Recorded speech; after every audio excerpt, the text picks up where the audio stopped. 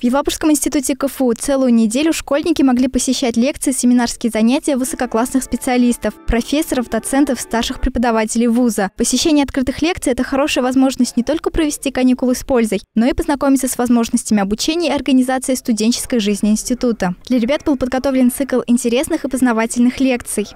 Уже в третий раз в Елабужском институте проходит акция «Почувствуй себя студентом». Нам кажется, что те, кто приходит, э, не только чувствуют себя студентами, послушав лекцию, посмотрев семинарское занятие, но мы всегда ребятам предлагаем посетить музеи, пройти по аудиториям, посетить лаборатории, да? просто почувствовать дух университета. В этом году в качестве эксперимента мы э, сделали такую возможность, можно зарегистрироваться на сайте и прийти вообще в любое время. Весь апрель еще эта акция продолжается, поэтому на сайте регистрируйтесь, приходите, мы вам рады. Отметим, что подобная акция проводится в Елабужском институте КФУ уже третий год. Специалисты вуза организуют много профориентационных мероприятий для детей всех возрастов. Это и проведение занятий в детском университете для младших школьников и серьезные научные конференции в старших классах. Диана Вакян, Динара Алмагамбетова, Денис Сипайлов, Univer News.